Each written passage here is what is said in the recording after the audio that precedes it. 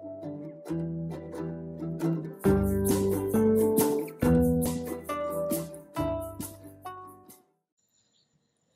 everyone.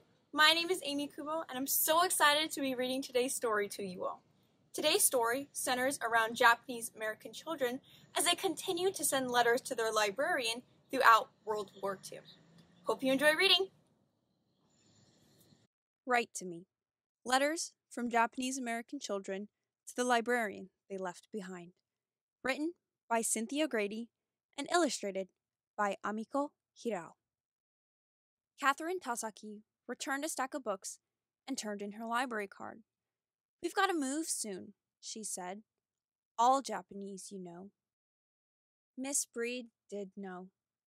The U.S. government thought Catherine and all people of Japanese heritage living on the West Coast could be dangerous. They looked like an enemy of the United States in a complicated war halfway around the world, so the government ordered that they be imprisoned. Miss Breed gave Catherine a stamped, addressed penny postcard in exchange for her library card. Write to us, Miss Breed said. We'll want to know where you are. At the train station, Miss Breed couldn't believe her eyes. Hundreds of families were tagged as if they were bundles of luggage. Soldiers with guns stood by.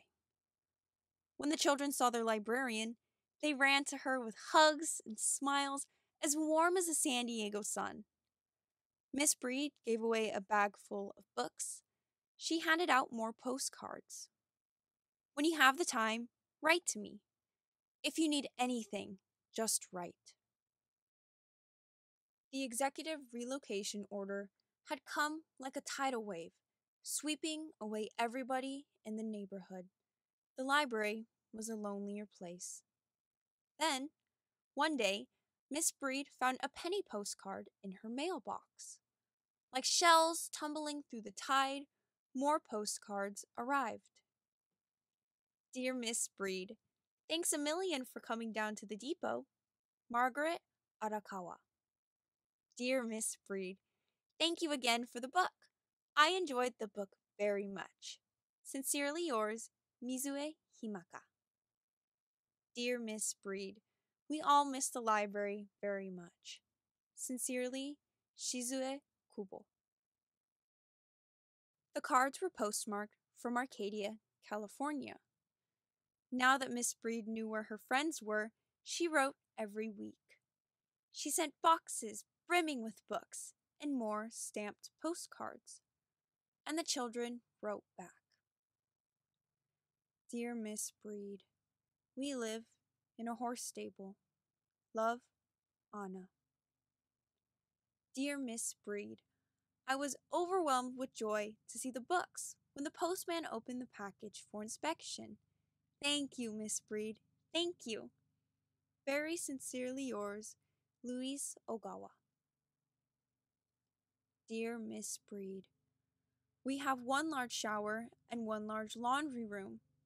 We certainly don't see how they expect over 16,000 people to be clean and also have their clothes clean. Yours truly, Fusa. One weekend, Miss Breed boarded a train to Arcadia. The guards didn't let her hug the children or even shake their hands, but they talked, and Miss Breed gave them more books. Dear Miss Breed, I shall never forget that day you visited us. Yours very sincerely, Louise Ogawa. Thousands of people moved to San Diego for wartime jobs. New children trickled into the library. Miss Breed was no longer lonely, but she still missed her old friends. Miss Breed wanted people across the country to know about the treatment of Japanese Americans on the West Coast.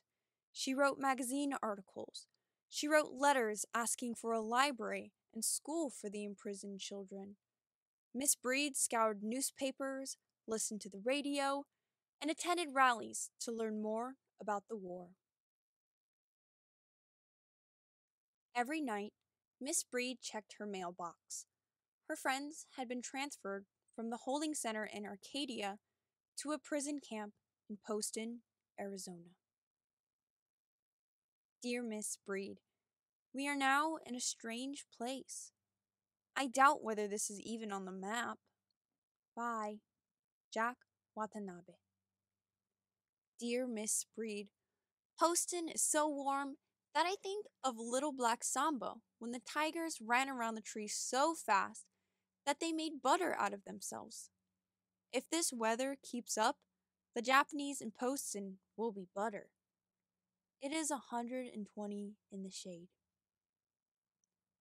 Postonly yours, Margaret Ishino. Dear Miss Breed, many people here has mumps and measles. Love, Elizabeth Kikuchi. The desert heat stunned them. Then came winter winds and rain. People got sick. Miss Breed sent seeds for planting, thread for sewing, and soap for washing. She sent pipe cleaners, crepe paper, pencils, and glue for making crafts. Dear Miss Breed, the corsages are for you and your mother. They were made by Miss Oe. The mum was made from lemon wrappers and crepe paper. Very truly yours, Tetsuzo. The youngest children wrote to Miss Breed about what they saw around them. Dear Miss Breed, I have a kitten now, and it's the sweetest thing. I found him in music class, where we had an awful time trying to hide him from our teacher. Love, Catherine. The older children wrote about their living conditions and how they spent their days.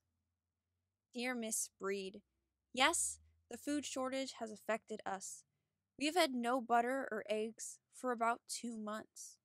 Most sincerely, Louise. They wrote about beauty. They wrote about fear. They all waited for peace. Dear Miss Breed, books made the day shorter and happier for us. Sincerely yours, Florence and Margaret Ishino. Dear Miss Breed, I received your book the day after I came back from the hospital. It kept me from being lonesome. Truly yours, Elizabeth Kikuchi. Dear Miss Breed, Yesterday, I finished reading Lost Horizon. I was continually amazed by its similarity to this place called Poston. We really have a feeling of isolation here. This book would not have impressed me so strongly if I had read it a few years ago. Always, Fusa. Dear Miss Breed, when peace comes again to this world, I should like very much to see the salmon going upstream. After reading Son of the Smoky Sea, I want to go more than ever. Most sincerely, Margaret Ishino. Finally, the war ended. As the Japanese Americans were released from each prison camp, they had to decide where to go. They no longer had homes to live in or farms to tend. Their shops, restaurants, and other businesses were gone. Some feared that they would not be welcomed back to their old neighborhoods. Some moved to other parts of the country for a fresh start.